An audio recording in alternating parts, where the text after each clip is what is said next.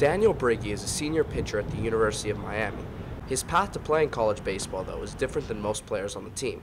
After playing for the club baseball team his first three years, Briggi finally made the team this fall. I was hurt freshman year. I think the plan all along was to play for this team. Uh, the goal all along was to play for this team.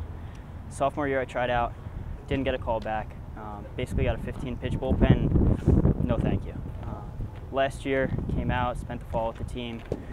Wasn't good enough. I was the 36th man on a 35 guy team, and uh, at the end of the fall, I got caught. This year, I came back out, and, and we actually made it. Miami pitching coach J.D. Arteaga explained why this was the year for Briggi.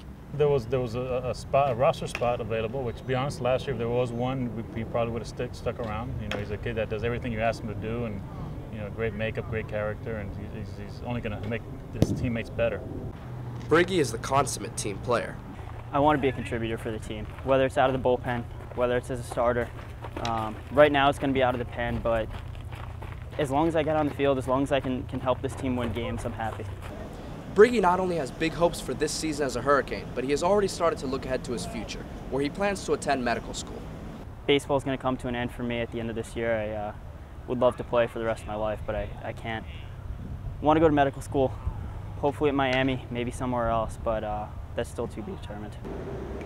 His coach thinks that there could be a role for him on the team this season If he's going to throw strikes. They're going to have to hit him to, to, to, do, to do damage. He's not going to hurt himself. So I got no problem putting him in, in the game. Baseball has taught Briggi a valuable life lesson. Uh, if you're willing to put in the work, you can do whatever you want. And, and that's probably the biggest takeaway for me. Reporting for UMTV, I'm Peter Ariz.